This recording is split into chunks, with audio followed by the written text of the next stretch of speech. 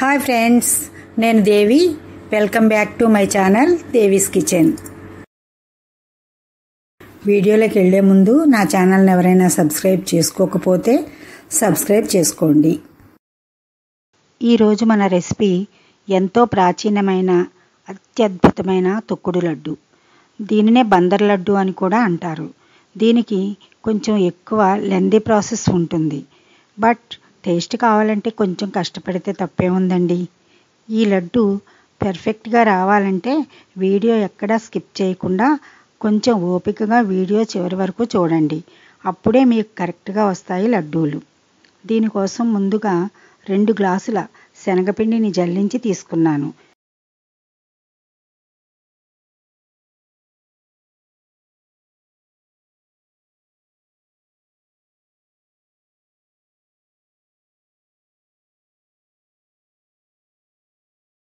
దీనిలో కొద్దిగా సాల్ట్ వేసి కొద్ది కొద్దిగా వాటర్ పోస్తూ జంతికల పిండిలా కలుపుకోవాలి.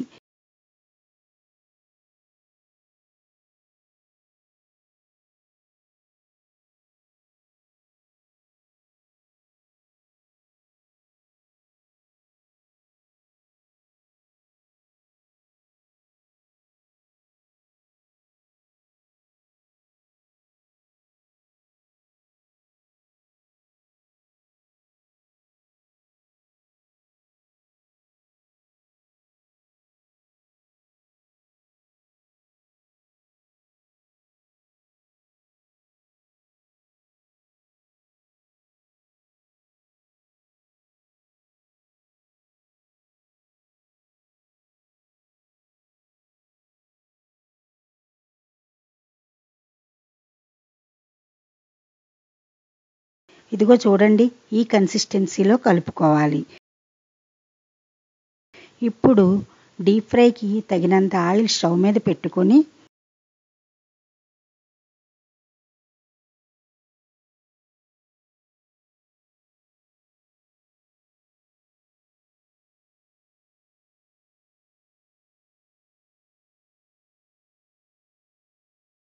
జంతికల గొట్టానికి కొద్దిగా ఆయిల్ రాసి ఈ పిండిని గొట్టంలో పెట్టి జంతికలు ఒత్తుకోవాలి.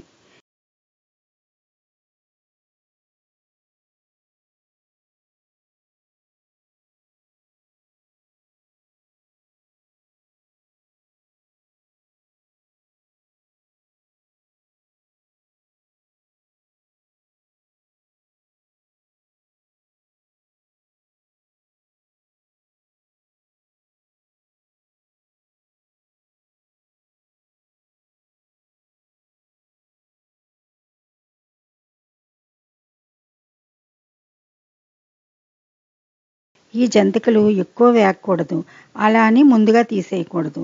ఎందుకంటే సరిగా వేగకపోతే పిండి పిండిలా ఉంటుంది. అందుకనే కరెక్ట్గా వేయించుకోవాలి.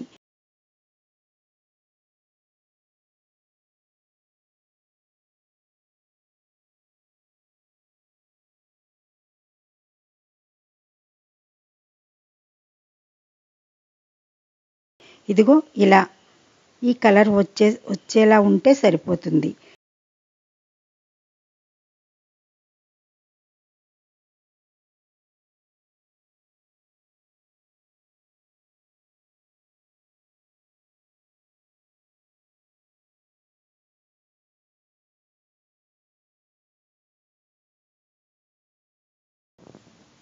ఇలాగే అన్ని జంతికలు ఒత్తుకోవాలి.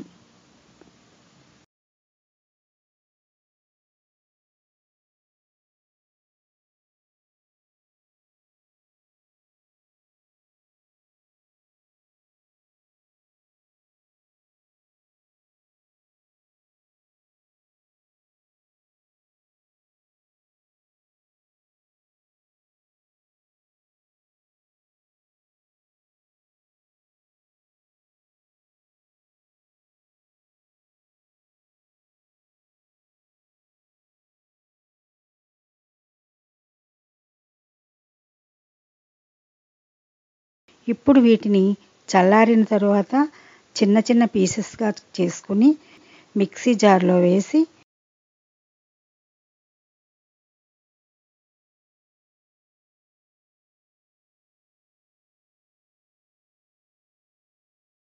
దీనిలోనే ఒక నాలుగైదు యాలకులు కూడా వేసి మెత్తగా గ్రైండ్ చేసుకోవాలి. ఇలా చేసుకున్న పొడిని జ్యూస్ గ్రై స్ట్రెయిన్ చేసుకునే స్ట్రైనర్ ఉంటుంది కదా దానిలో వేసి జల్లించుకోవాలి. ఎందుకంటే మామూలుగా జల్లెడలో వేసుకుంటే పిండి మరీ మెత్తగా వచ్చేస్తుంది.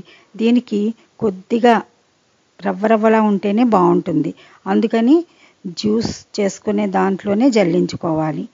మిగిలిన మొరుగు కూడా మళ్ళీ వేసి మిక్సీలో వేసి గ్రైండ్ చేసుకోవాలి. అలాగే మళ్ళీ జల్లించుకోవాలి.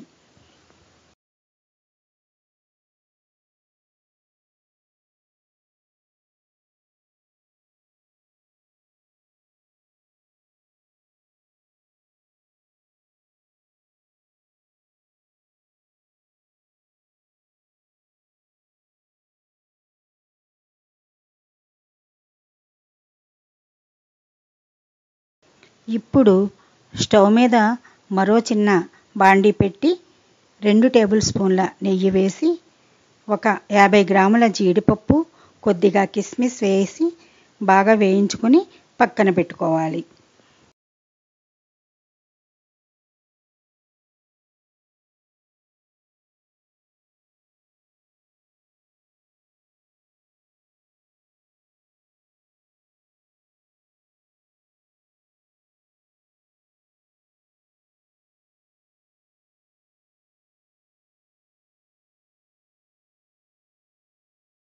ఇప్పుడు ఏ గ్లాస్తో అయితే శనగపిండి తీసుకున్నామో అదే గ్లాస్తో రెండు గ్లాసులు షుగర్ తీసుకుని ఒక త్రీ ఫోర్త్ గ్లాస్ వాటర్ వేసి స్టవ్ మీద పెట్టి మరిగించాలి. శనగపిండి రెండు గ్లాసులు తీసుకుంటే షుగర్ కూడా రెండు గ్లాసులే తీసుకోవాలి. ఈ పాకం సరిగా పాకం రాకపోతే ఎంత చేసినా మనకి లడ్డూలు రావు. పిండి పలచగా అయిపోతుంది. అలాగే పాకం కొద్దిగా ముదిరినా కానీ లడ్డూలు గట్టిగా వచ్చేస్తాయి. అందుకని పాకం కన్సిస్టెన్సీ కరెక్ట్గా చూసుకోవాలి.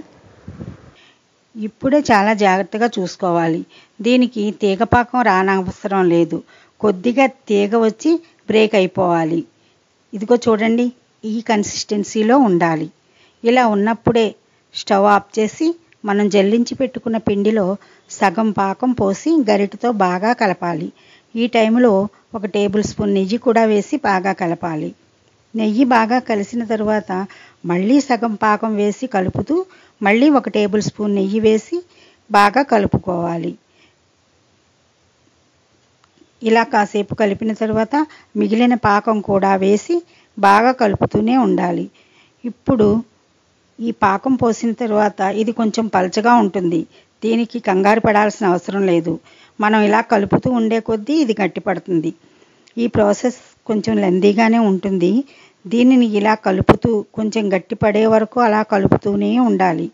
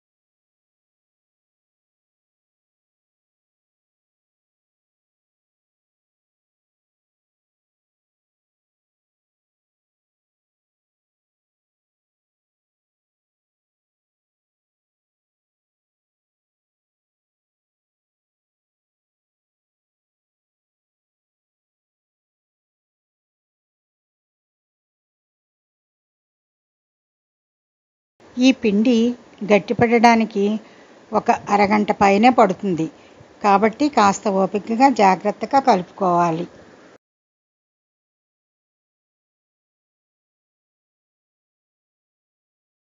కొంచెం గట్టిపడిన తరువాత ఒక ప్లేట్కి కొద్దిగా నెయ్యి రాసి దానిలో ఈ ముద్దను వేసి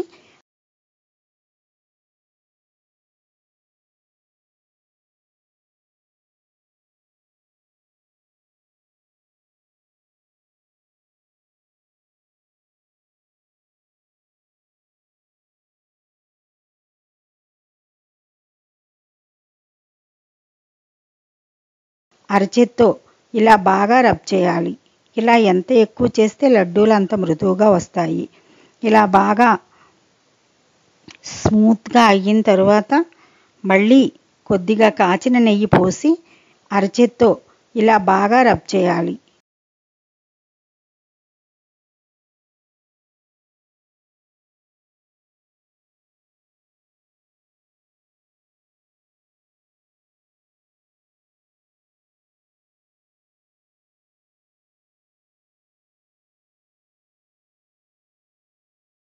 ఈ ముద్ద ఆరిపోకుండా ఒక మూత పెట్టి కొద్ది కొద్దిగా తీసుకుని ఇలా లడ్డూలు చేసుకోవాలి.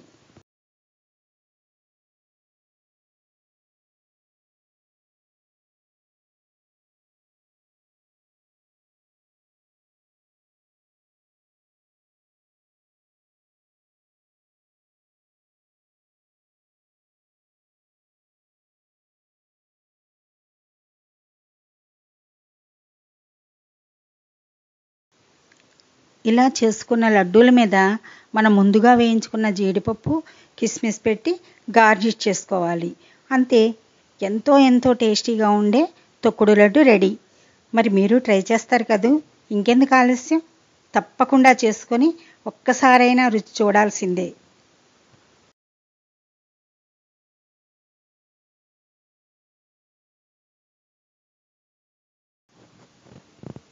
చూడండి.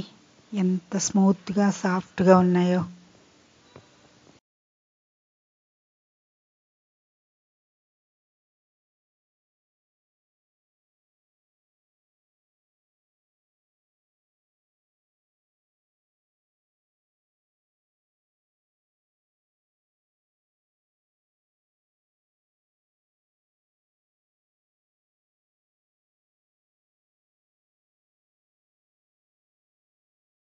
మరి మీరు ట్రై చేస్తారు కదూ? మరి ఇంకా ఆలస్యం ఎందుకు?